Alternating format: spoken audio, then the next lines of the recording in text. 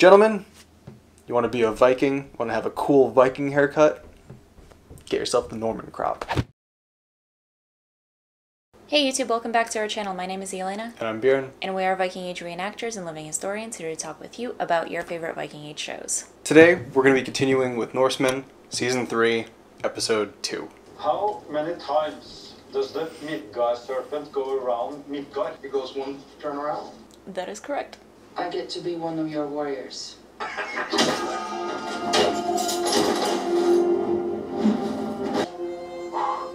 Ja.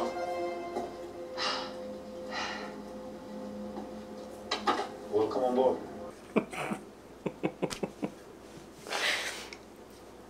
Just needed to collect myself for a bit. Yep. So we've talked on our channel a little bit about female warriors before, um, mainly to sort of point out how not every woman in a village would be a warrior. They would be few and far between, and the show actually does that pretty well. They have a single, you know, their token female warrior, and that's about it. Every other woman in the show doesn't really do much in terms of rating. They know how to fight if need be, uh, which is actually pretty accurate. Um, you know, women would be taught by their husbands how to defend themselves if the husband was away and somebody came to their home so that they would know how to protect themselves and their family. So the show actually does a pretty good job about uh, showing what the female role would be like or closer to it, essentially. They do have a female warrior who was basically born to be a warrior, and you can tell that. And you would have those standouts, but the majority of women um, in history and on the show would be taking care of the home. Yep. The fact is, I'm uh, getting married, and in that matter, uh, I need a, a trusted friend. So, uh, Earl, I would like to ask you: Would you do me the honor of uh, being my uh, best man? I like almost feel bad for him. He stabbed himself in the leg to get out of being his best man. That's some really serious dedication. Can't believe that. We're seven minutes in. and I've already seen more than I wanted to. We don't really know that much about wedding ceremonies back in the Viking Age, right? Yeah, there's not a ton that's like recorded that can be specifically traced back to that. Like we the concept of like a best man I think goes back like a fair amount. I think it's mostly like if like your fiance or whatever had like a lover who was going to try to stop the wedding and like take her away from you basically, your best man would be like the one who fights him off essentially. Gotcha. I think I think I don't know. That might just be like complete and utter horse. Um, but I feel like that's what I've heard about it in the past. Um, but I mean that doesn't really necessarily date back to like the Viking Age. Like we know a little bit about like how it would be, like how the custom would kind of be, um, but not really like a whole great deal that we can confirm specifically. The thing that's very accurate in here is that the woman would have a voice in who she married. It goes kind of hand in hand with, you know, the freedoms and rights that women enjoyed uh, Yeah. in Scandinavia during the Viking Age. Yeah, absolutely. She definitely did have a, a fair amount of a say. You know, ultimately it wasn't really her decision still, I think. Um, But she would still have a say in she it, would still have a say, and it was considered like uh, like a good omen essentially if like she was obeyed essentially. You know, like if if there was like a marriage or like a, a coupling that was agreed upon that she didn't really consent to or she wasn't like interested in, um, it was kind of seen as just like foreshadowing of a bunch of crap down the road that would just go horribly wrong. Like, oh surprise Yeah, I wonder why. wonder how that could ever happen. and like you'll see even like in, in like the Icelandic sagas and things, like um the the woman will often be like kind of broached to see what her opinion is kind of on the matter and if they think it's a fair match.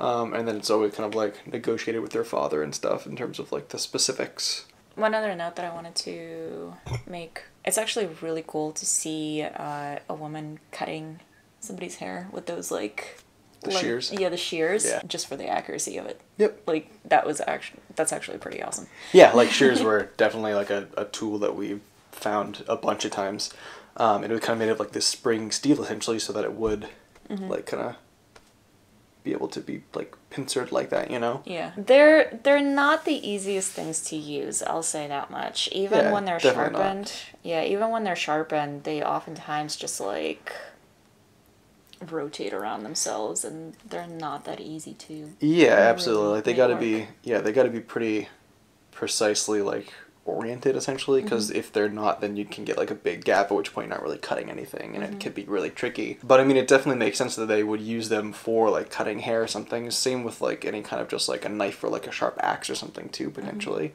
Um, for like getting that close cropped kind of thing. Um, but like the shears were also often used to shear sheep as well. You know, that's Yep. primarily I think what it was used for, but Yeah. definitely makes sense, or at least it's a decent theory that it could be used for cutting somebody's hair too. Yeah, exactly. And I think Yep. those haircuts that they had are Yep. examples of haircuts that Scandinavians could have had. Because, like we said before, we can't know for sure.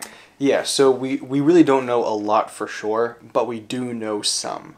Um, I think we talked maybe off camera about the Suebian knot um, as like an older hairstyle, but this one with like the whole back of the head shaved and just like the short front crop, um, it is a historically accurate hairstyle of the Normans um, because in the Bayeux Tapestry uh, there are a bunch of, of these male warrior figures um, depicted with that style of haircut. So it is something that dates back to that contemporary period. It's technically like a Norman hairstyle, not necessarily a Scandinavian one, but I mean the Normans are descendants of Vikings, so you could argue. Yeah. We don't really know if it was a Scandinavian Nordic haircut that just kind of existed still throughout that region, or if it maybe had some regional influence from the Frankish territory or anything. We don't know, but it definitely fits the time period, and it definitely is one of the one of the really good go-to hairstyles. Gentlemen, you want to be a Viking? Want to have a cool Viking haircut? Get yourself the Norman crop. The one whose freedom I would like to purchase is Lee. Please don't take it personally, Arnstein. Try to be a little happy for me instead. I was wondering what was gonna happen with the family. Uh, should have guessed that she'd just like walk away from it completely indifferent because she is terrible. That is her character. Isn't that like the exact same thing that she said the last time? Like, why can't you just be happy for me or something? Yeah. Yep. Buying slaves' freedom was absolutely a thing, though. Yeah. They're not wrong about that. Nope.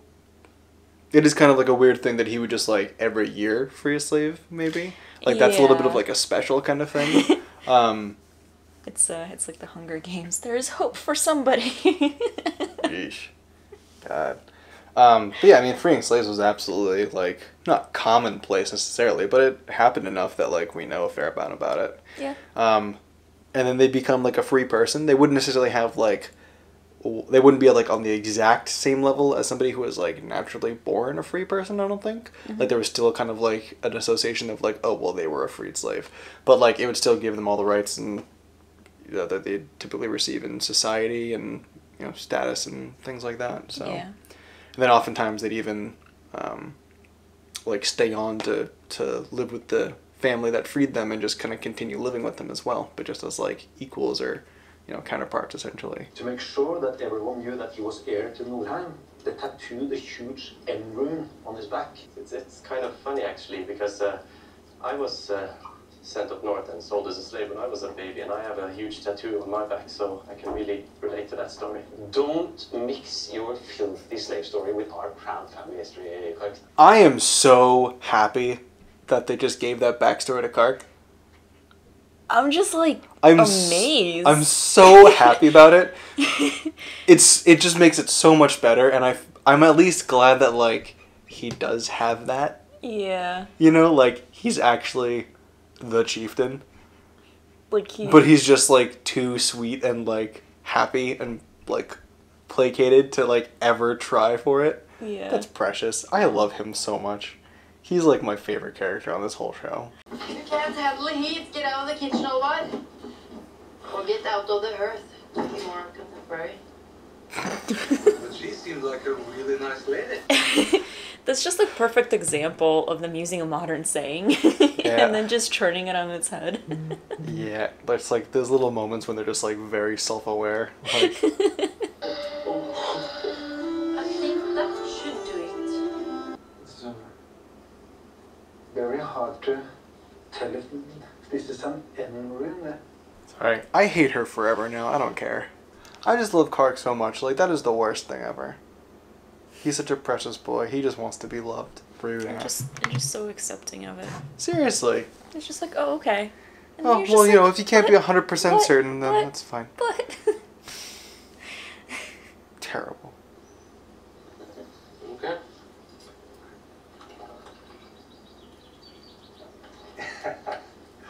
Yes, yes, yes, but we kind of just grab the titties and squeeze and squeeze and squeeze for dear life until the milk just starts squirting out, and that's what's called the climax. I just discovered why Frey never got pregnant.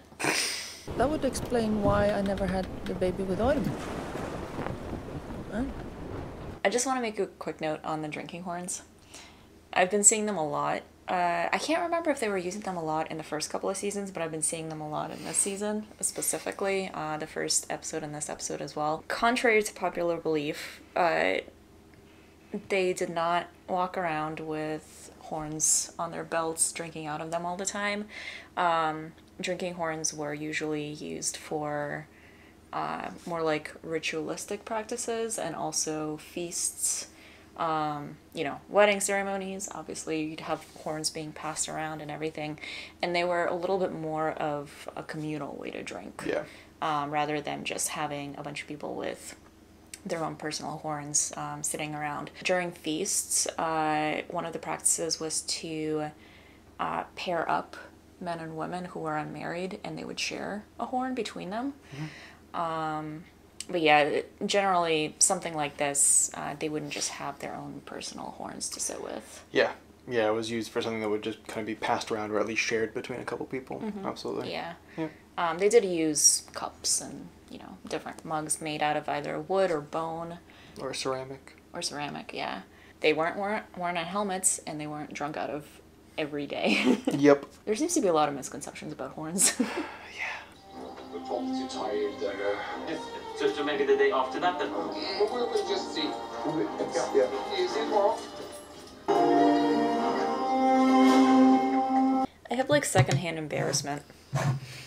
But all the more evidence that like Kark is just like the best He is. of creatures. He is. He's the best of subhumans.